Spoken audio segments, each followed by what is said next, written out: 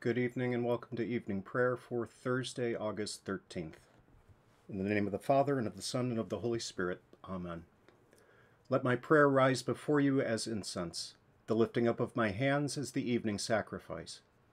Joyous light of glory of the immortal Father, heavenly, holy, blessed Jesus Christ, we have come to the setting of the sun, and we look to the evening light. We sing to God the Father, Son, and Holy Spirit. You are worthy of being praised with pure voices forever. O Son of God, O Giver of life, the universe proclaims your glory. The Lord Almighty grant us a quiet night and peace at the last. Amen. It is good to give thanks to the Lord, to sing praise to your name, O Most High, to herald your love in the morning, your truth at the close of the day. Praise to you, O Christ. O come, let us worship him. Lord Jesus, stay with us, for the evening is at hand and the day is past. Be our constant companion on the way.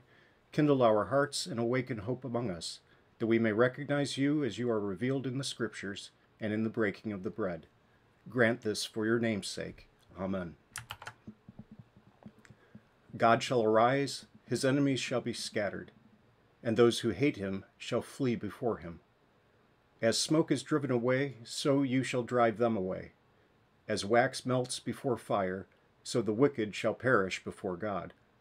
But the righteous shall be glad. They shall exult before God. They shall be jubilant with joy. Sing to God, sing praises to his name. Lift up a song to him who rides through the deserts.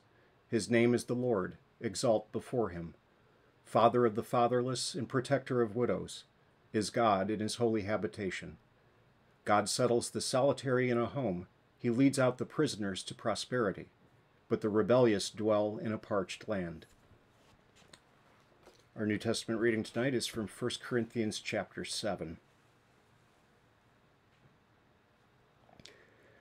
Now, concerning the matters about which you wrote, it is good for a man not to have sexual relations with a woman, but because of the temptation to sexual immorality, each man should have his own wife and each woman her own husband. The husband should give to his wife her conjugal rights, and likewise the wife to her husband.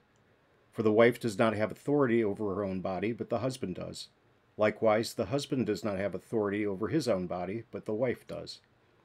Do not deprive one another, except perhaps by agreement for a limited time, that you may devote yourselves to prayer. But then come together again, so that Satan may not tempt you because of your lack of self control. Now, as a concession, not a command, I say this I wish that all were as I myself am, but each has his own gift from God, one of one kind and one of another. To the unmarried and the widows, I say that it is good for them to remain single as I am. But if they cannot exercise self control, they should marry, for it is better to marry than to burn with passion. To the married, I give this charge, not I, but the Lord. The wife should not separate from her husband, but if she does, she should remain unmarried or else be reconciled to her husband, and the husband should not divorce his wife. To the rest I say, I, not the Lord, that if any brother has a wife who is an unbeliever and she consents to live with him, he should not divorce her. If any woman has a husband who is an unbeliever and he consents to live with her, she should not divorce him. For the unbelieving husband is made holy because of his wife, and the unbelieving wife is made holy because of her husband. Otherwise, your children would be unclean, but as it is, they are holy. But if the unbelieving partner separates, let it be so. In such cases, the brother or sister is not enslaved. God has called you to peace. For how do you know, wife, whether you will save your husband? Or how do you know, husband, whether you will save your wife? Only let each person lead the life that the Lord has assigned to him and to which God has called him. This is my rule in all the churches. Was anyone at the time of this call already circumcised? Let him not seek to remove the marks of circumcision. Was anyone at the time of his call uncircumcised? Let him not seek circumcision. For neither circumcision counts for anything nor uncircumcision, but keeping the commandments of God. Each one should remain in the condition in which he was called. Were you a slave when called? Do not be concerned about it. But if you can gain your freedom, avail yourself of the opportunity. For he who was called in the Lord as a slave is a freedman of the Lord. Likewise, he who is free when called is a slave of Christ. You were bought with a price. Do not become slaves of men. So, brothers, in whatever condition each was called, there let him remain with God. Our Book of Concord reading tonight is the second half of Article 2 from the Apology of the Augsburg Confession on Original Sin.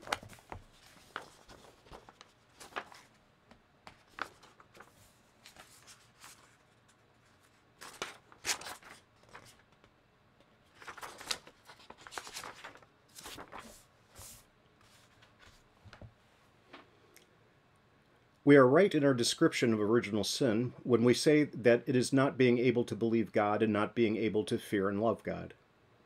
We are right when we say that it includes concupiscence, which seeks fleshly things contrary to God's word. This means when it seeks not only the pleasure of the body, but also fleshy wisdom and righteousness. Therefore, it holds God in contempt when it trusts in these as good things. It is not only the ancient teachers, but even the more recent teachers at least the wiser ones among them, who teach that original sin is both the defects I have mentioned and concupiscence. Thomas Aquinas says, Original sin includes the loss of original righteousness, and with this, a disorderly arrangement of the parts of the soul. Therefore, it is not pure loss, but a corrupt habit. Bonaventure says, When the question is asked, What is original sin? the correct answer is that it is immoderate concupiscence. The correct answer is also that it is a lack of righteousness that is due, and in one of these replies the other is included. This is also Hugo's opinion when he says that original sin is ignorance in the mind and concupiscence in the flesh.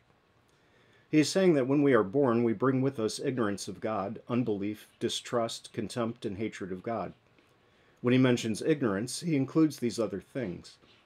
These opinions also agree with Scripture. Paul sometimes clearly calls it a defect as in 1 Corinthians 2:14. The natural person does not accept the things of the spirit of God. In another place he calls it concupiscence. At work in our members to bear fruit for death. Romans 7:5. We could cite more passages relating to both parts, but when a fact is so clear there is no need of future testimonies. The intelligent reader realizes easily that to be without the fear of God and without faith are more than actual guilt. They are abiding defects in our unregenerate nature. When it comes to original sin, we hold nothing different from either Scripture or the Church Catholic. just pause there really quickly. You're going to hear this phrase, um, actual sins, as opposed to uh, concupiscence, as opposed to uh, original sin. So, actual sins are, are sins that you act out. Um, and that phrase is going to come up quite a bit. So they're not, making different degrees of, of sin. They're talking about uh, the sin you're born with, original sin, and then actual sin, the sins you commit in your day to day life.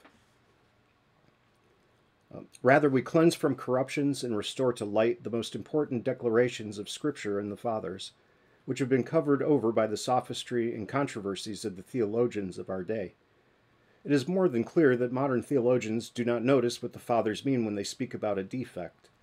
The knowledge of original sin is absolutely necessary. The magnitude of Christ's grace cannot be understood unless our diseases are recognized.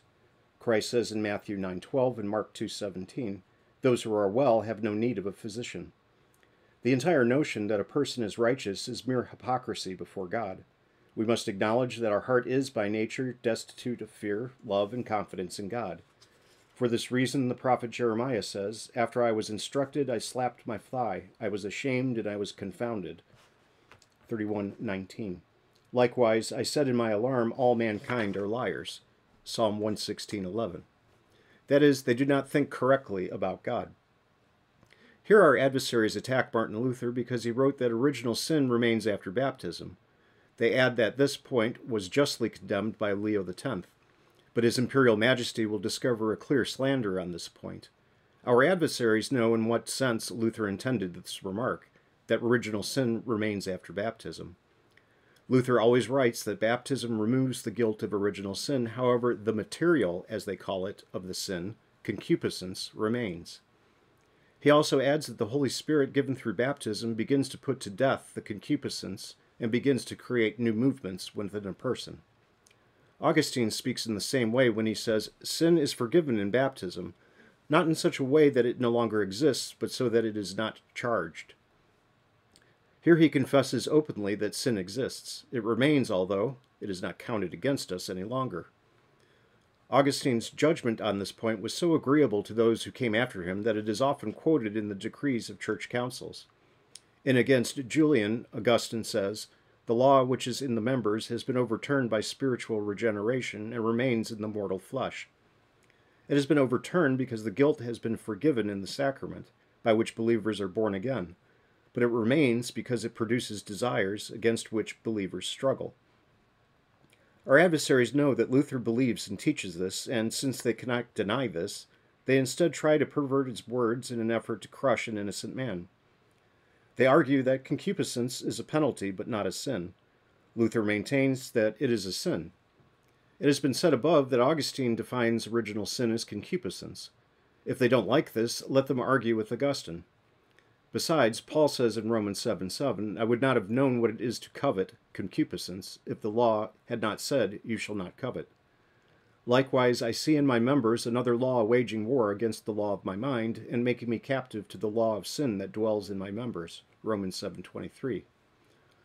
No amount of sophistry can overthrow these points. They clearly all call concupiscence sin, which is not charged against those who are in Christ. Romans 8:1 although by nature it is deserving of death, Romans 6:23, where it is not forgiven.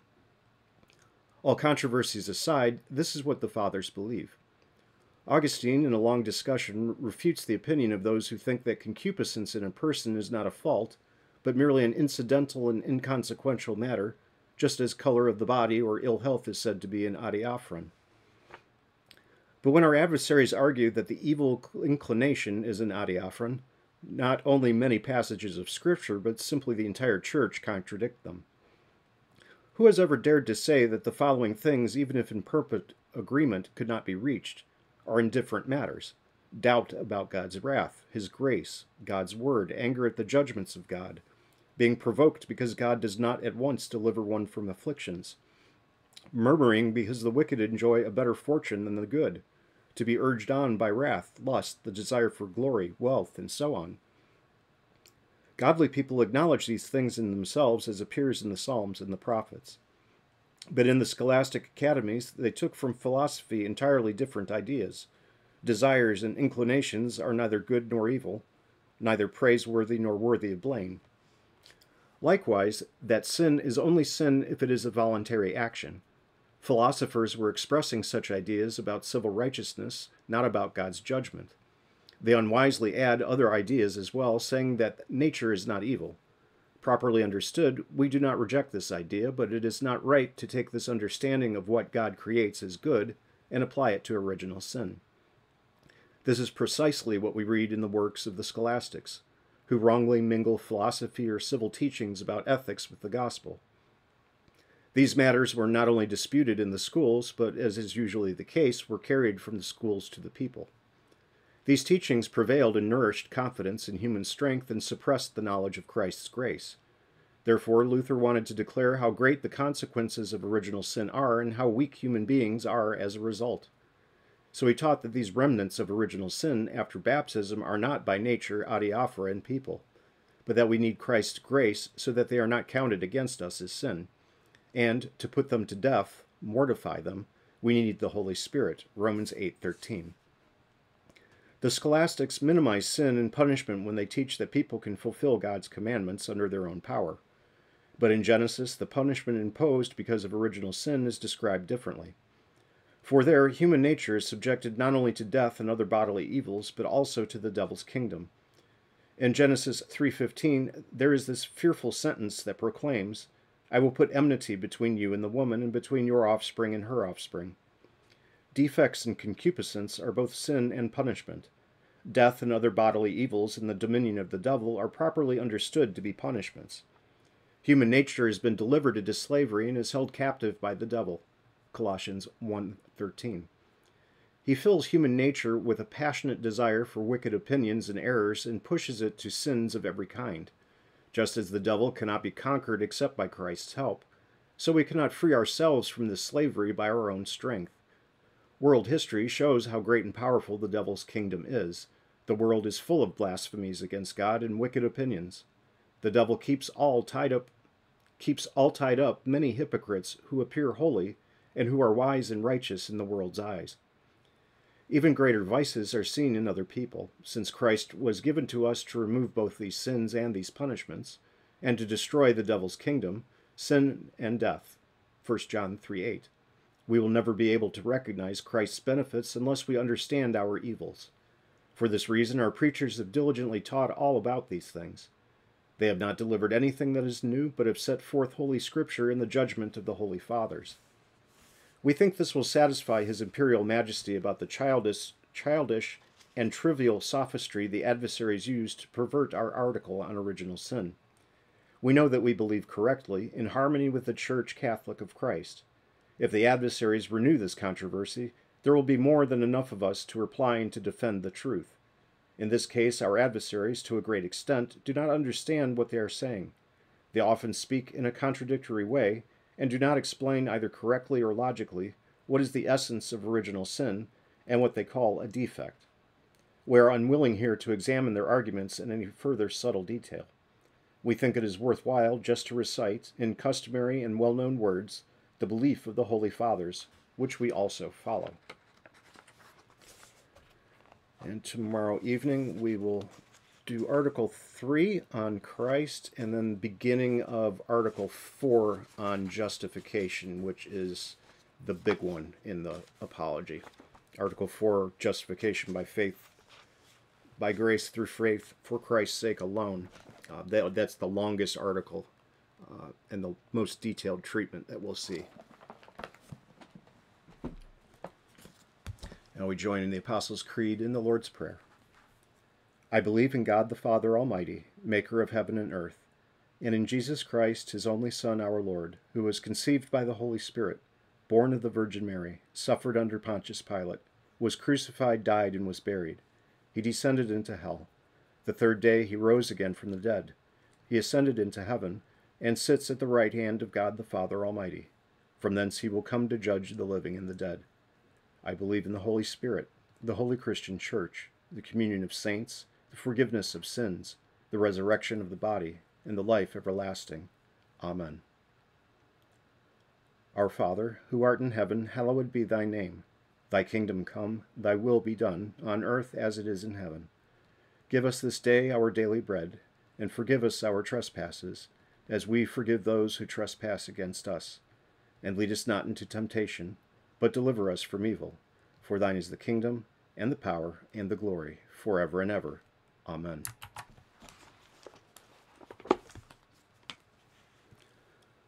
O Lord Jesus Christ, true King of heaven and earth, you promised to your church that the gates of hell would not prevail against her, and you still cause your word to be preached and your holy sacraments to be administered among us.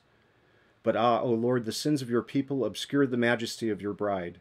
Your holy vineyard is trampled, and your blessed sacrifice stands neglected. Many think themselves strong and despise the life giving food that you have ordained for your people, for the forgiveness of their sins.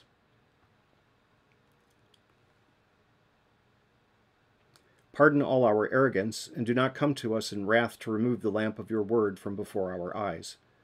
O Lord, we pray you, visit this vine which you once established for yourself, and renew us with the sun of your mercy and the water of eternal life. Give us a great hunger for the food of your true body and blood, and let all your faithful people ever be found in the apostles' doctrine, in the fellowship, in the breaking of your bread, and in the prayers.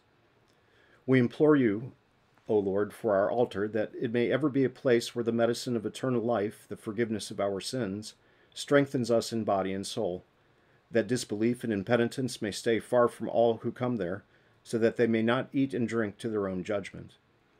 O eternal high priest, let the fruit of your Spirit grow in us, which is love, joy, peace, patience, kindness, goodness, faith, gentleness, and chastity. Cause us to live in holy conduct toward one another to the glory of your holy name, here in time and hereafter in eternity. For you live and reign with the Father and the same Holy Spirit, one God, now and forever. Amen.